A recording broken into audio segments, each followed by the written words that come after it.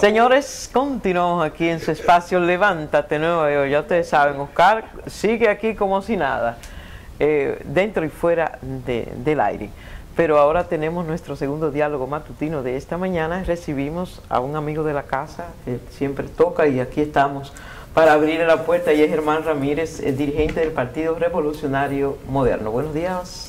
Buen día, Province, Oscar, Luis, un placer, bienvenido a este soy yo ahora que estoy dándote la bienvenida.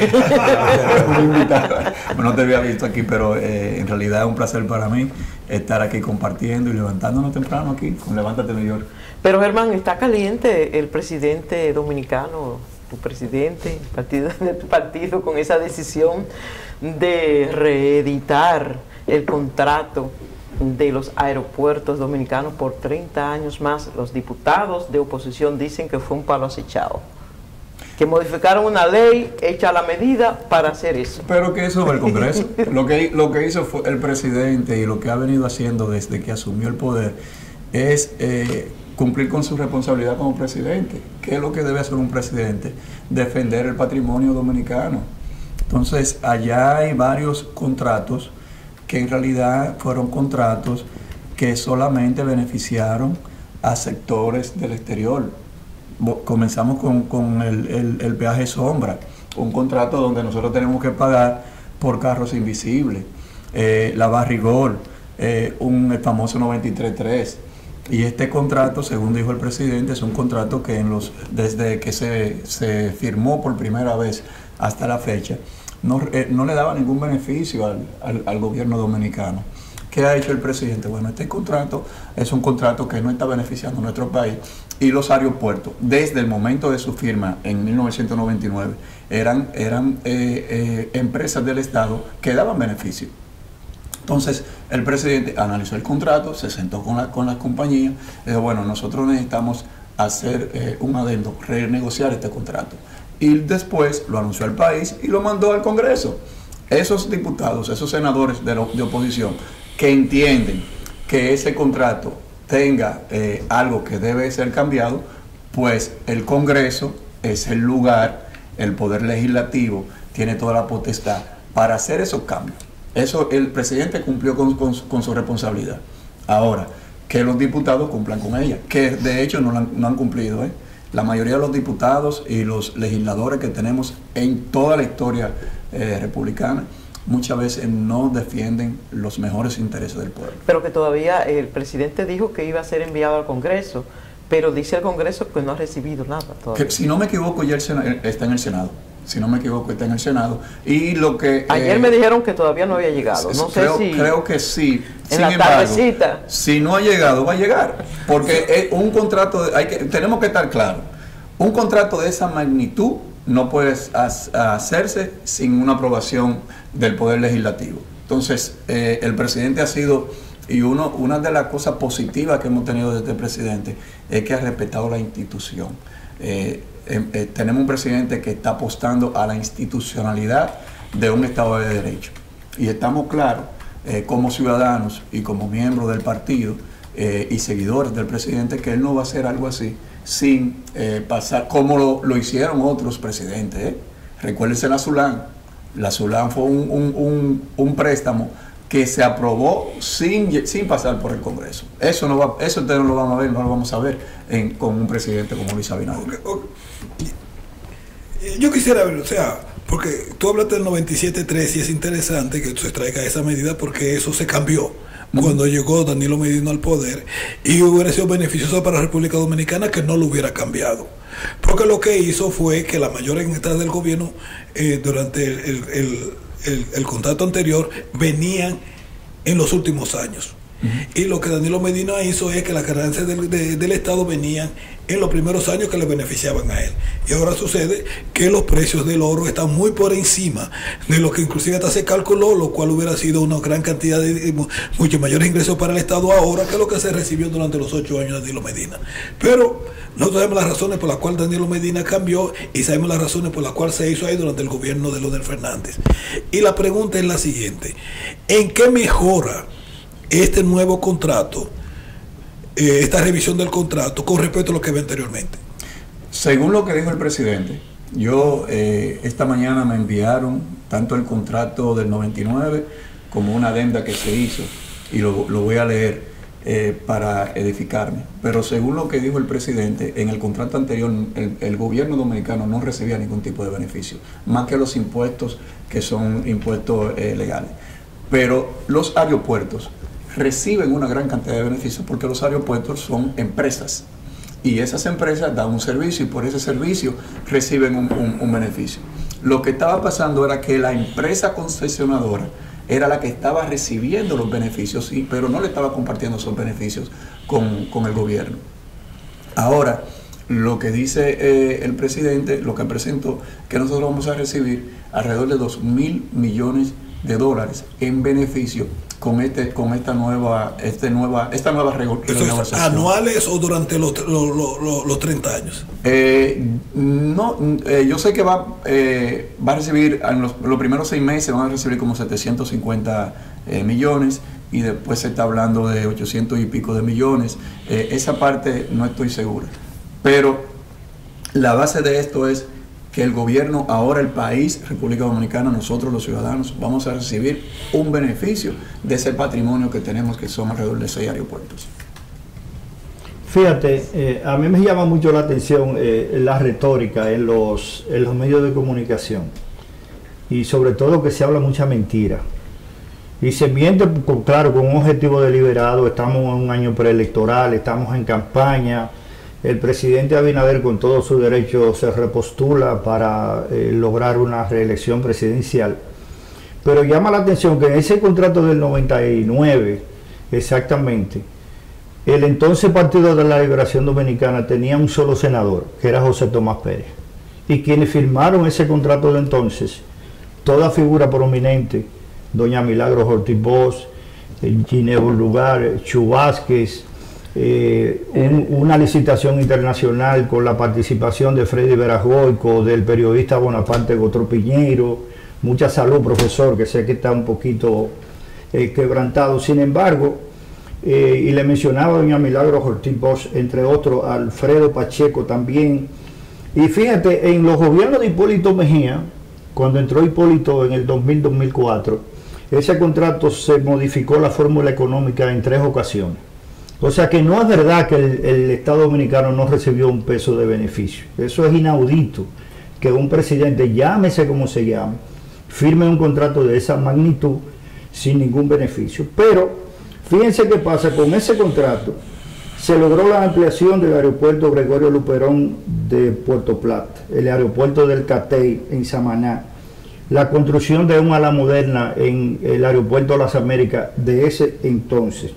O sea, contrato que todas estas construcciones fueron a favor del Estado Dominicano. O sea, decir el Estado Dominicano recibió cero beneficios es una mentira inaceptable. Si tú me dices que, y no me refiero a usted, sino al, al gobierno... Eh, bueno, en este caso el que, el que, te está diciendo esto soy yo. No, no, pero... Lo está diciendo, lo está, me, te está refiriendo a mí y me está diciendo mentiroso, de una forma muy política, de una forma muy... No, no, muy, no, no. Muy, sí, lo está haciendo no, no, porque pero, yo pero estoy déjame, déjame. la, forma, la información y tú estás diciendo que se está hablando mentira. O sea, yo estoy dando la información. Si yo digo aquí que Oscar está diciendo mentira después que él termina de hablar, yo de una manera muy sutil estoy diciendo mentiroso. Bueno, en primer lugar no soy mentiroso. No, en, no, no, en ter- perdón, en- en- perdón, en segundo lugar, perdón, quiero, que, quiero perdón, que discutamos eso. Perdón, porque es mi turno. Yo estoy haciendo la pregunta. Simplemente te hice una aclaración. Eh, eh, fíjate, usted viene aquí a repetir en este escenario, en esta tribuna, en esta plataforma, lo que declara su partido, lo que, lo que declara el gobierno. Esa información no es originalmente suya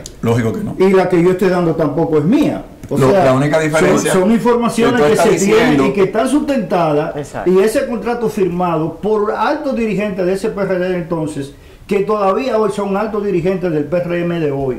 La única diferencia es que tú estás diciendo que se está diciendo mentira, me Eh, está diciendo mentiroso a mí. no, usted nunca, Y yo, nunca. y yo, y Si yo, no- yo en ningún momento, sí, lo, lo eh, de eh, una manera no, no, muy no. sutil. Señores, vamos por hiciste. No, no, no, no.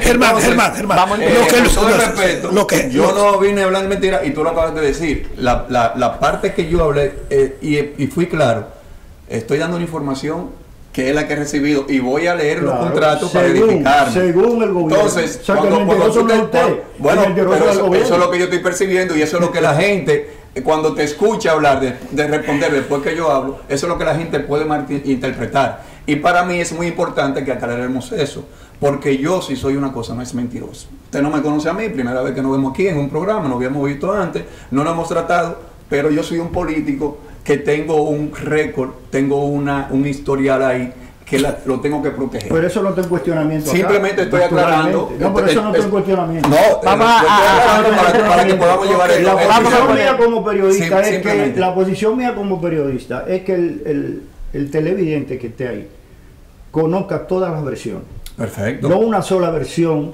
porque si un contrato que se firma en el 1999 y lo avalan en el Congreso Dominicano, los miembros del mismo en el año en 99, miembros del PRD de entonces, que hoy son miembros del PRM, hay una contradicción en la información.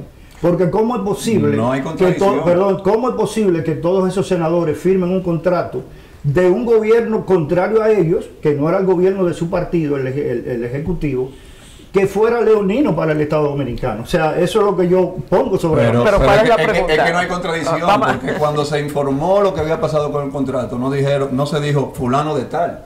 Se dijo, este contrato se hizo y el gobierno no ha recibido, el gobierno, el Estado no ha recibido beneficio.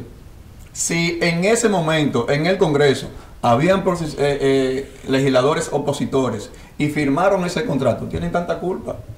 Porque ¿qué, qué es lo que está- qué es lo que ha pasado en República Dominicana? Y vuelvo y, y lo mencioné en mi primera intervención. Nosotros hemos tenido legisladores y políticos que mayormente no representan y no legislan en favor de nuestro pueblo, independientemente del partido. Siempre. Eso ha sido. Ahora bien, en los gobiernos del PLD, con Leonel Fernández de presidente, y ahora yo digo nombre y apellido, la mayoría de los contratos que se hicieron y las concesiones que se hicieron fueron en detrimento del, del Estado. Y ahí está la historia. Vuelvo. Sunlan ni siquiera pasó por el Congreso. El peaje sombra, Barrigol, el, el- el de- el del aeropuerto, las supuestas privatizaciones, la CDE, todos esos contratos, todos esos acuerdos fueron en detrimento del Estado Dominicano. Y eso no es mentira. Pero los diputados dicen que eh, el, el presidente introdujo una modificación a una, ley, a una ley para hacer un traje a la medida para entonces él poder hacer este, este contrato, reeditar este contrato sin que siquiera eh, hubiera un- una competencia, que no fuera a competencia. Hay que- vamos por parte. El, el- el presidente es el, el ejecutivo. Es el que está Sí, claro. principalmente, que tiene, tiene la responsabilidad de velar por eh, su- la principal responsabilidad en un Estado es el presidente, en un Estado republicano, ¿verdad? Él analiza el contrato como hizo también con, con- con el peaje sombra. Pero ese contrato, él los, lo lleva al Congreso. Varios contratos y va- varias eh, leyes, el Ejecutivo, el presidente, lo ha enviado al Congreso. Y en el Congreso se ha discutido y se le ha, se le ha cambiado, eh, eh, se ha encontrado al- algunas, eh, algunas leyes, algunos capítulos que los congresistas no, han- no han estado de acuerdo y se ha devuelto al, al- al Ejecutivo. Esa es la responsabilidad. ¿Cuáles? Y, y, ¿Cuáles? eh, bueno, no, no te voy- déjame ver. El que, yo, el que yo creía que no iba a pasar por el Congreso era la ley de, de privatización, la cosa. Y La no- fideicomiso. la fideicomiso. Y crearon una, una, una bola de humo con uso propiamente de los haitianos. Y cuando todo el mundo estaba en la calle con los cuchillos en la boca para matar a los haitianos porque no iban a cobrar impuestos, pa- pa- para ayudar a los inmigrantes haitianos, por debajo de la mesa pasaron a los fideicomisos. Que le quita el poder al Estado de negociar cada contrato de privatización en su eh, esencia. Ahora eso pasa por ahí porque que ya hay una ley de, de privatización. Eso ni siquiera el Estado Bien. tiene. Entonces, Pero el, el- No, no, el- pero- el no, no, no, Congreso, los no, diputados, para responderle a, a, a Provenz, los diputados y los senadores van a recibir el contrato. Y ahí en el, con- en el Y Congreso de- deben discutirlo y ver... y va a ser aprobado. Y va a ser Ese, aprobado. ese es el procedimiento. Ese es el procedimiento. Ahora, Eso no, que, no, que va a ser aprobado, no. eso, eso yo no te puedo decir. Lo que yo sé es que va al Congreso. Germán, Germán, tú dijiste algo que es completamente cierto. pero no solamente en los gobiernos del PLD, en todos los gobiernos de la República Dominicana. Todos esos acuerdos son lesionarios al gobierno de la República Dominicana. Y si quiere nos podemos trasladar a la Rosario. Que cuando no, cuando no eh, producía un centavo, porque creía que ya no había ahora, la compramos. Y luego cuando apareció una nueva metodología de explotar, se, la regalamos de nuevo. Entonces, y la pregunta que, que, que, yo te quiero hacer es lo siguiente. Ese contrato en 1999 pasó por cuatro años de, de del PRD, eh, pasó por eh, ocho años de Leonel Fernández, ocho años de, de, Danilo. de Danilo. Medina y tres años del de actual presidente. O sea, que ese contrato estaba ahí por años. O sea, que todos son culpables también. Totalmente. Entonces, la, y, la, y, la, y la pregunta que yo te hago es la siguiente, ¿por qué ahora? ¿Por qué ese contrato tan leonino para eh, la República Dominicana no fue modificado en agosto del, del, 2020 y viene a hacerlo ahora, seis meses antes de las elecciones, donde el gobierno, en muy favorable, le entran 700 y pico de millones? que lo vamos a utilizar abiertamente, lo que hace el presidente para la campaña. O sea, pero, lo, pero Oscar, el presidente incluso anunció dónde se van a utilizar y los montos que se van a utilizar. Yo le pregunto a ustedes y le pregunto a los televidentes, ¿son estas obras que el presidente anunció necesarias para el país? Un presidente no administra los recursos del Poder Ejecutivo del país y lo, lo debe invertir en obras sociales. Sea ahora, sea ayer, no es una inversión, porque los, los presidentes no gobiernan por cuatro años. Y en esos cuatro años, el, el, presidente está anunciando obras y está ejecutando obras desde que asumió en el, en el, el 16 de agosto del 2020. Inclusive obra iniciada en gobierno. Y ha seguido, no, no, no, gracias no, Luis, que eso es una, una, algo muy importante.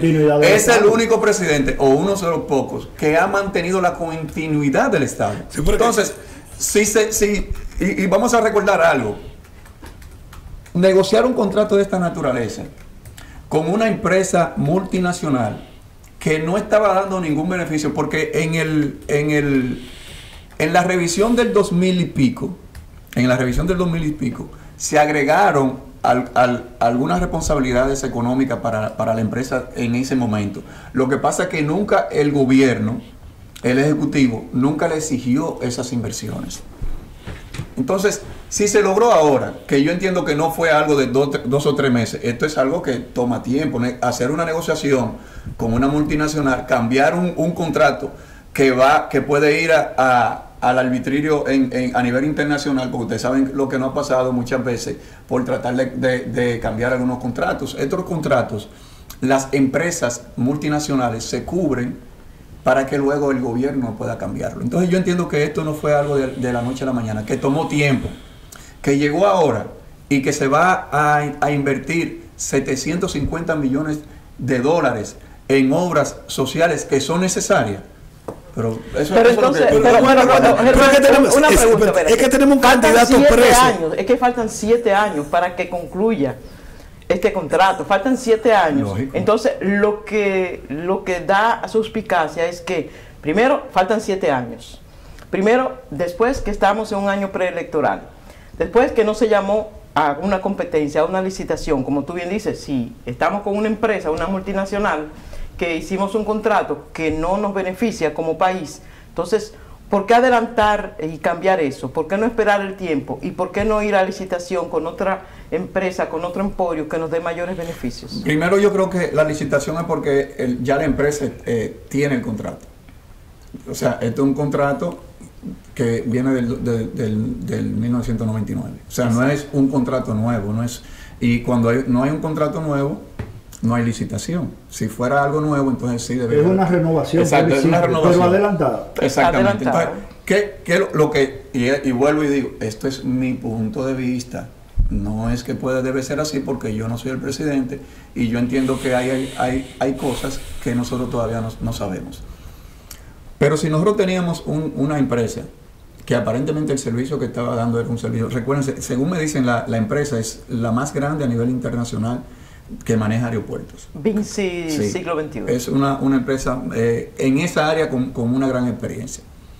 Entonces, era o esperar que terminara el contrato sin el gobierno recibir nada, o hacer una negociación entendiendo que la empresa está dando un buen servicio y cambiar algunas cosas para beneficio del, del país que es lo que yo creo que el, que el gobierno está haciendo. Por ejemplo, la misma, eh, eh, la empresa que está, y vuelvo y, y, lo toco porque ha sido también un contrato que, que se renegoció, la del peaje sombra, se quedó la misma empresa también con, con, con, el contrato. Se renegoció, pero no se cambió la empresa. Porque si se está dando un buen servicio, eso es lo que yo entiendo. Y no, y una cosa, eh, eh, caballerísimo, debieron dejar la misma empresa porque eso es lo que determina la seguridad jurídica. Usted no puede sacar una Exacto. empresa para traer otra. Exacto. Sí, porque ahí, ahí vamos a conflictos internacionales. Señores, todos, todo eso se puede. Uh -huh. Y le voy a decir lo siguiente, para que nosotros entendamos.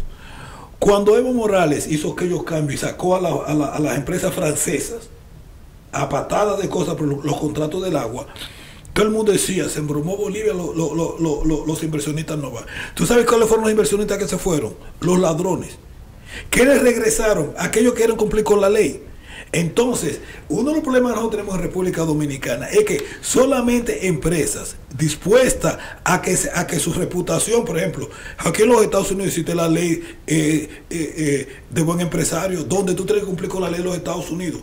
Si ese contrato era leonino para el gobierno de la República Dominicana, todos los gobiernos que estaban ahí tenían derecho a, anularlo. y nadie lo anuló.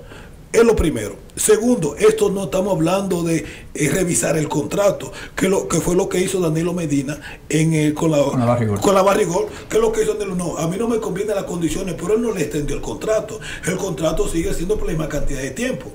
Lo que él decidió es cambiar la relación de, de, de ganar, renegociar, renegociar el contrato, porque era leonino para el Estado Dominicano. ¿Ustedes oyeron a la barrigol diciendo que no le iban a renegociar? No, porque eso para su reputación era negativo. Entonces, renegociar el contrato con esta compañía es una cosa y extenderlo por 30 años más es otra cosa.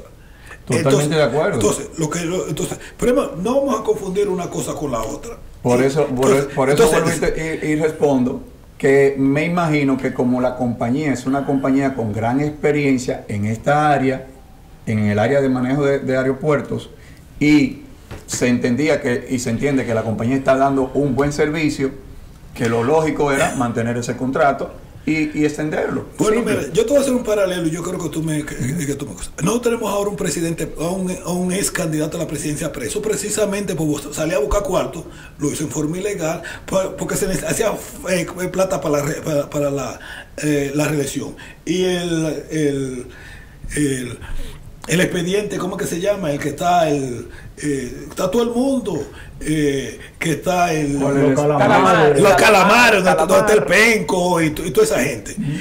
el, el, contrato calamar, el, el, el problema el calamar, el expediente calamar surge de una dirección que le dice al el presidente de la República Dominicana, Danilo Medina, hay que salir a los cuartos de la reelección. Y de ahí apareció este esquema. Pero no, o sea, no un momento, un momento, Germán. Okay.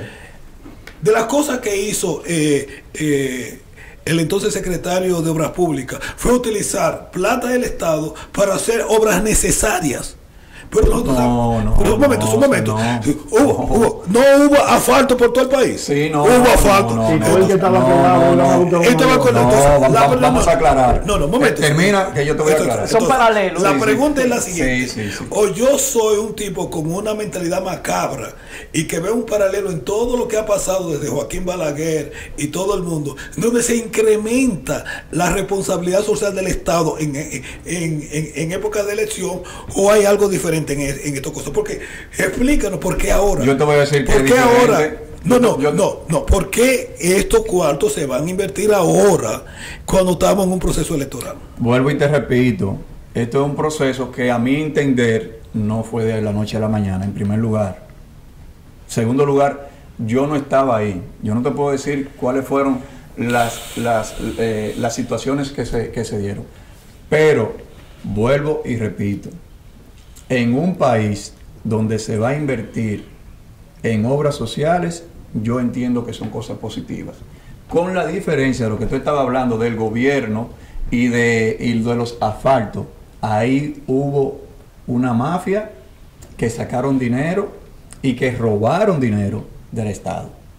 Esto no es lo mismo. Vamos, vamos a, por favor, mantener la distancia. No podemos comparar lo que se hizo en los gobiernos de, de Danilo Medina, lo que hicieron la familia de Danilo Medina, su hermano, lo que hizo aquel secretario, eh, el ministro de, de Obra Pública, de- que después fue candidato, con lo que está pasando ahora, señores. Señores, si, si hay algo que tenemos que reconocerle al presidente Luis Abinader, es que está manejando los recursos del Estado de una manera austera. Incluso nosotros estamos haciendo más obras con menos recursos. Si ustedes ven las obras que se están haciendo y la comparan, eh, la inversión que, que- que comparamos, la inversión que se está haciendo ahora, con la inversión en obras similares que se hacían antes, van- no- nos vamos a dar cuenta que ahora las obras están saliendo al menor costo que antes.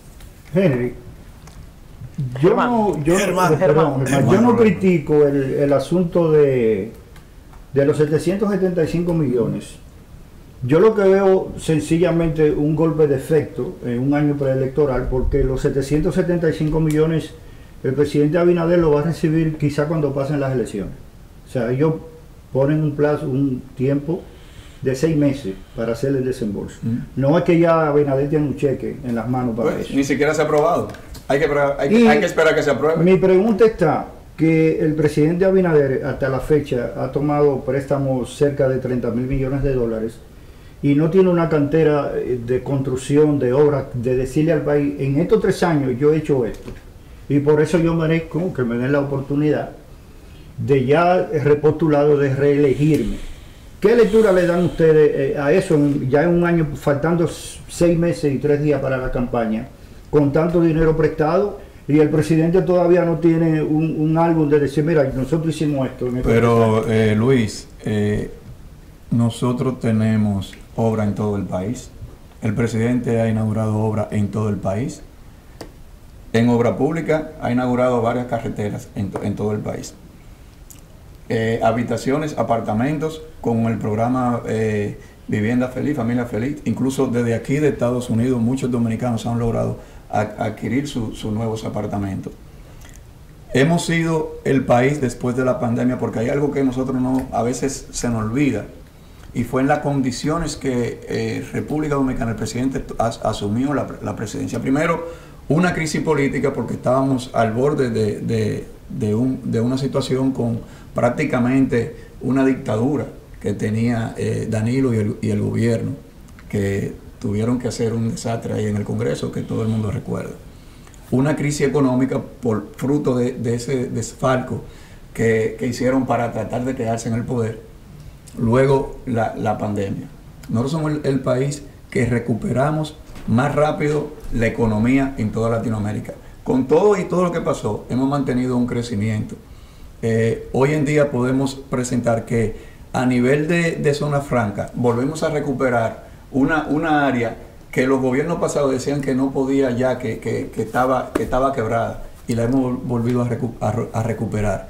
Eh, ahí en, en- en Ca- en Cabo Rojo, en Pedernales, se está, haciendo un, polo turístico nuevo para, atraer más, inversiones. O sea, si tú caminas hoy eh, a cualquier eh, municipio de República Dominicana, tú vas a, ver obras nuevas de- del presidente Luis Abinader, con todas y esas crisis, sin hablar Ucrania, sin hablar la situación de ahora de Israel, que todo eso ustedes saben que afecta directamente a un país que es un país, eh, digamos, mediano, eh, que es República Dominicana. Pero Germán, el tiempo se nos ha ¿Cómo terminado. va a ser? Pero brevemente, Ya que yo oye, Luis y yo no estábamos ya Germán, pero brevemente, antes de decirte gracias y la invitación abierta para otro día, faltan seis meses, ¿cómo está la candidatura del presidente Luis Abinader y el PRM aquí en la ciudad de Nueva York? Brevemente. Quiero volver a aclarar sobre lo que dijo Oscar, que el presidente se ha mantenido sobre un 50%.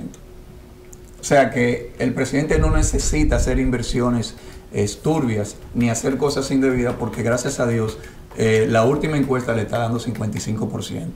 eh, lo que significa que va a ganar en, primera vuelta. Y el PRM como partido está rondando el 50%, lo que significa que vamos a ganar la mayoría de los municipios, la mayoría de los diputados y los senadores y, regidores. Para terminar, quiero darle las gracias una vez más a ustedes por invitarme. Luis, eh, discúlpame que quise aclarar eso, pero no podía yo dejar eso, pero en realidad eh, no es nada, nada No, no, personal. no hay nada, no hay Eh, nada pecaminoso. Y a ustedes, si ustedes vieron que yo en algún momento eh, le dije a Luis algo descompuesto, también pido disculpas.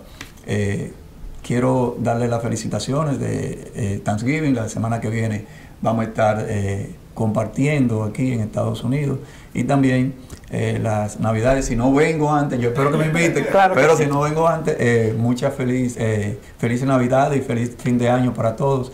Y gracias una vez más por, por invitarme. Gracias a ti, Germán. Gracias a ti, Germán. Ahora vamos a ver, vamos a dar un viaje. Gracias, porque, Gracias. señores, señores, aquella gente que no tiene miedo, que no quiere venir aquí, miren lo bien que nosotros damos a Germán. Las noticias dominicanas.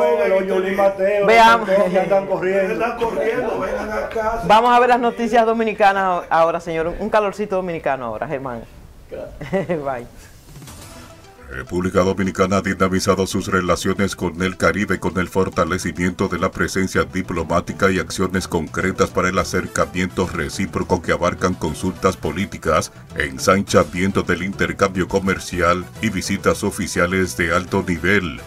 El gobierno de Estados Unidos anunció ayer miércoles que aumentará a 2 millones de dólares la recompensa por información que conduzca a la captura del haitiano Vincent Hong Innocent, descrito como cabecilla de una banda criminal presuntamente involucrada en el secuestro de misioneros cristianos y otras víctimas.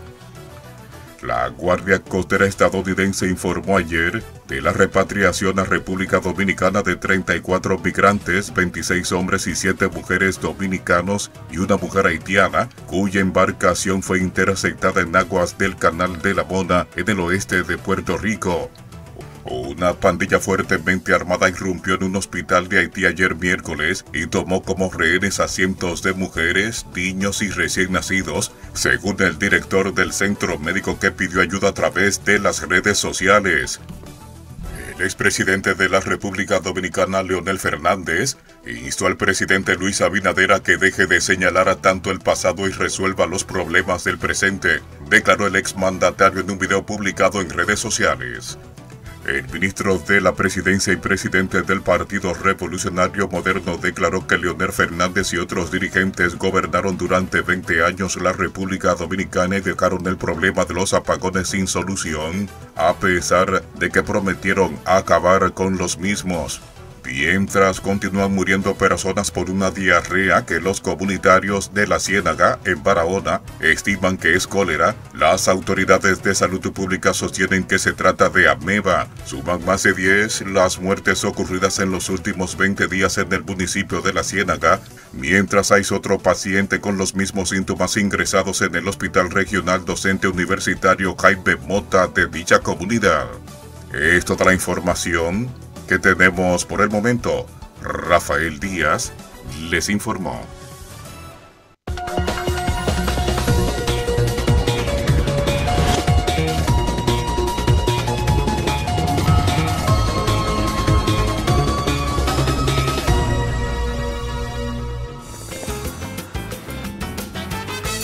Juanchi, dime a ver. Oh, tranquilo, aquí en lo mío, organizando la bodega. Mira todo lo que me llegó. Epa, pero bien ¿Y ahí. tú qué? Cuéntame de ti. Aquí contenta. Acabo de ir con mi cédula a empadronarme. ¿Empadro qué? ¿Y qué es eso? Mira, hombre, eso es que te inscriben para votar por tus candidatos de RD, pero desde el exterior, como si tú fueras a votar allá, pero viviendo aquí. Porque, ajá, uno vive aquí, pero el corazón lo tiene allá. ¡Sabroso! Pues llévame contigo que yo no me voy a quedar fuera. Vamos. Julia, busca tu cédula que vamos allí a empadronarnos. Empadrónate por la patria que llevas dentro. Junta Central Electoral. Garantía de identidad y democracia. Las vacunas actualizadas contra el COVID-19 y la gripe se recomiendan a todas las personas a partir de los seis meses, especialmente si tienes 65 años o más, tienes una enfermedad preexistente como asma, diabetes o cardiopatías, o estás embarazada. Las vacunas refuerzan tu protección contra las variantes actuales. Mantén tu seguridad y la de los tuyos. Y cualquiera que sea tu motivo, vacúnate esta temporada. Llama a tu médico o al 311 o visita nyc.gov diagonal COVID Vaccine.